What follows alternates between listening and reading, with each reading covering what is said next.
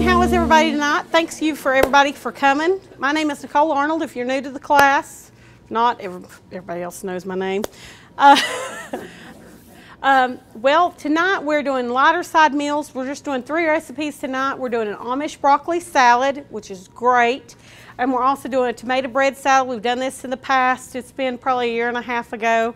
Um, time to kind of roll that out again. And we have an oven fried chicken. We're making a rosemary oven fried chicken. Something that's kind of light, super easy to do tonight. I'm going to do a couple of things a little bit different than what's on the recipe, and I'll tell you why in a minute.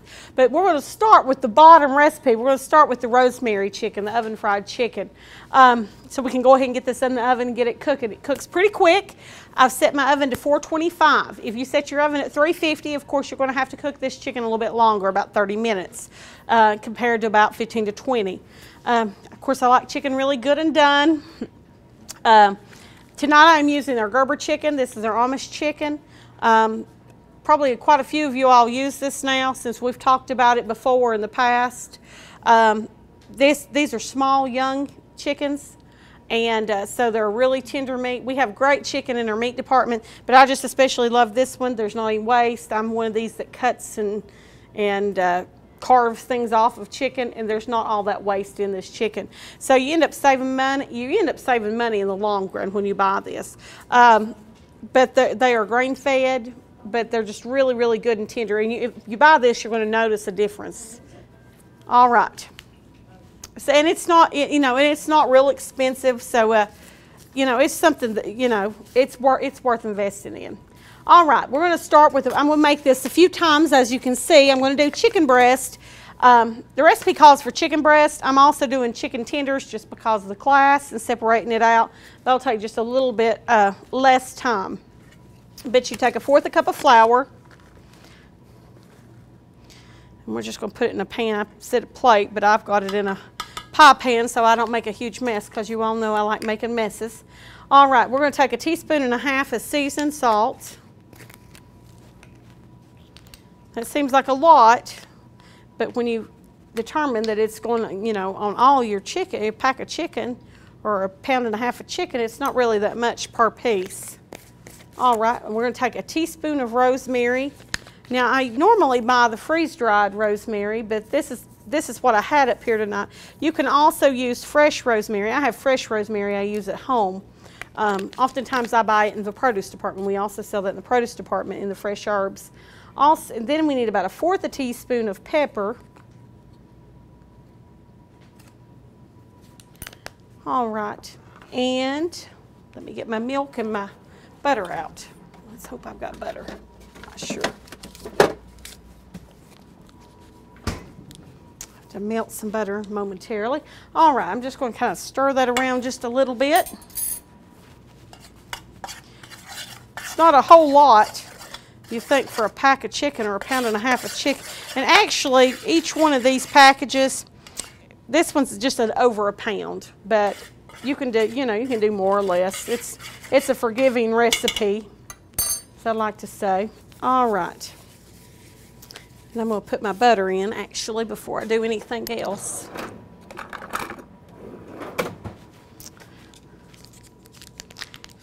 Maybe I ought to do something just a little bit bigger because we've got just a little bit more I'm going to melt all of it at one time. We just got started.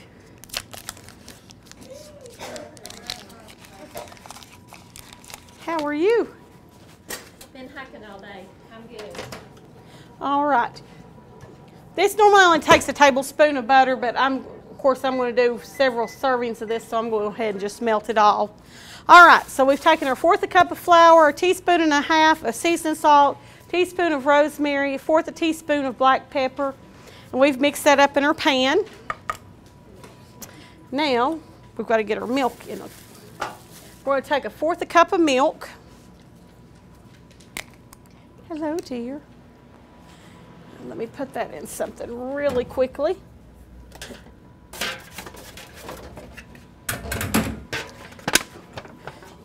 And I apologize. Kind of got stuff sitting everywhere tonight. I got a little behind. about a fourth a cup of milk. And if you do it in a smaller dish, of course, it's going to look like it goes a little further.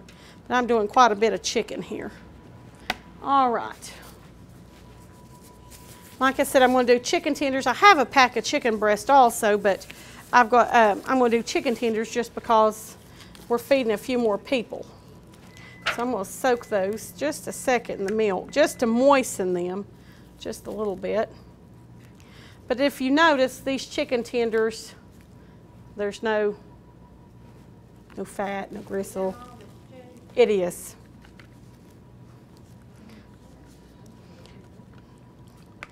It is really good chicken. And I was person, I was a little skeptical. I told the class, I think my pen's leaking.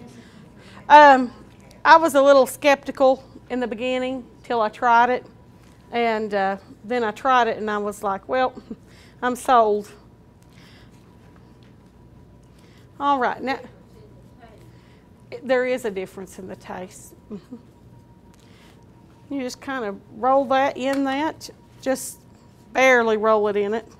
I would think the Amish would just kill a, an old hen. Well, these are young.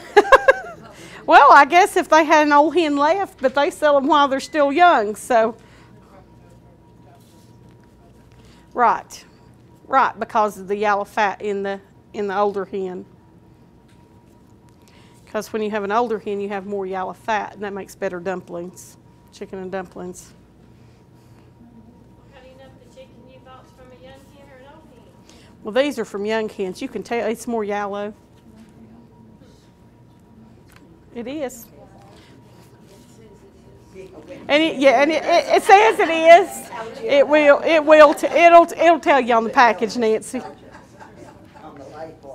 It. It does. It does say. It does say that.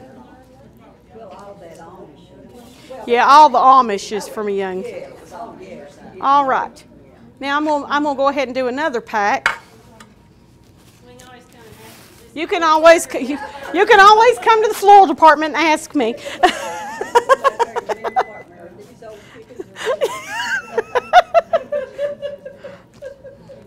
well, you know, and uh, from time to time we sell the occasional rooster too, so we do. Uh, but there's there's people that have you know sometimes want them actually, so uh, we usually sell. They come in frozen actually. We do sell them. Okay, I'm gonna mix up another batch and. I'll, The Amish tomatoes we're gonna have to do. no, these aren't Amish tomatoes.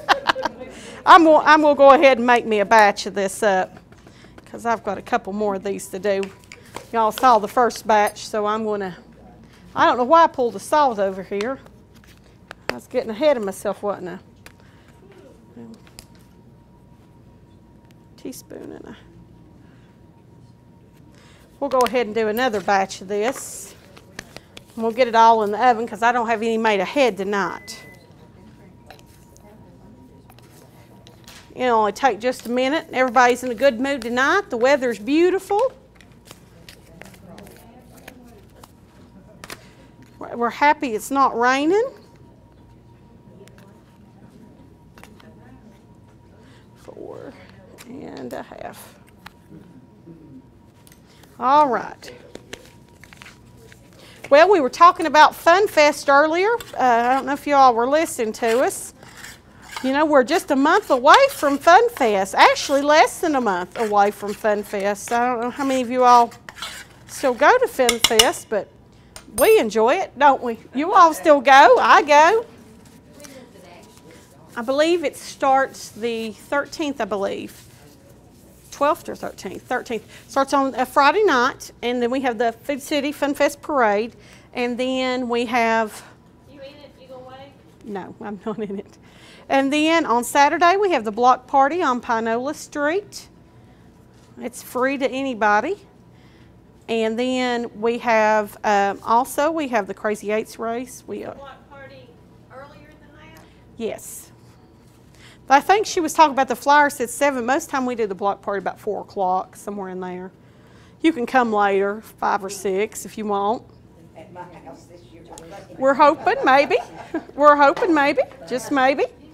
Uh.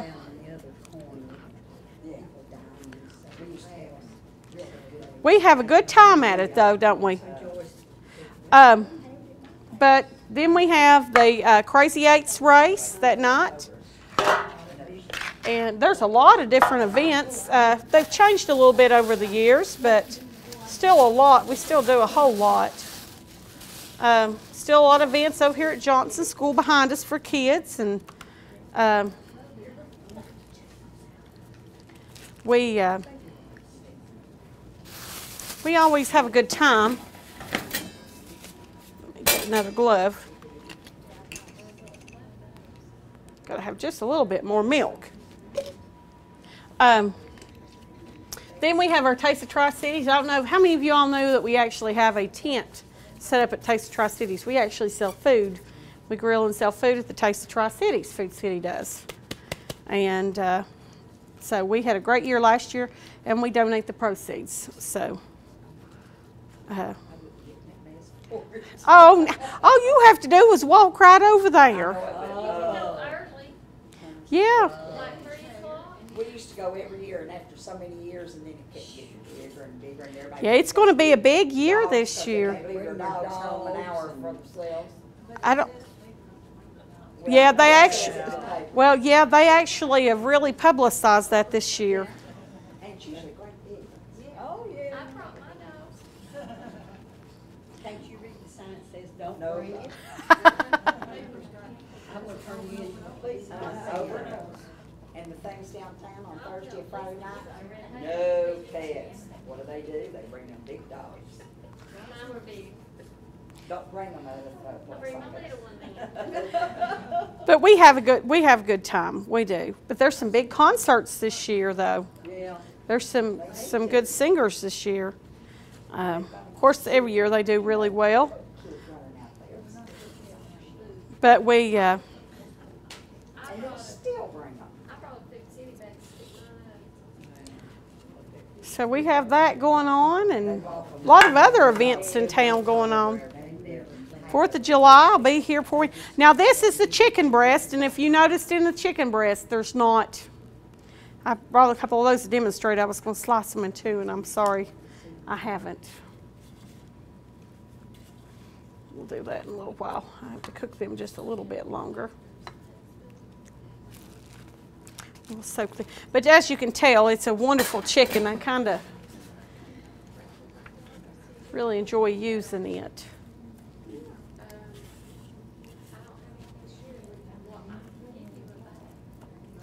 I may just have to put those in and cook, take them and put them in something else. Cook them a little longer, obviously.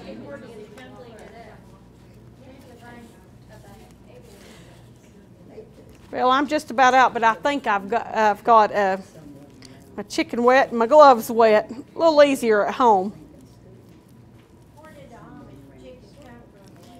Um, Ohio. Come out of Ohio. So uh, I thought my pan had a hole in it.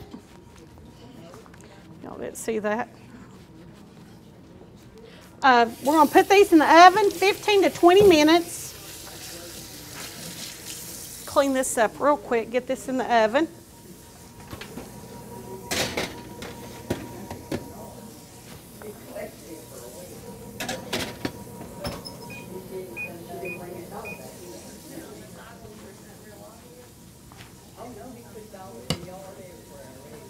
All right.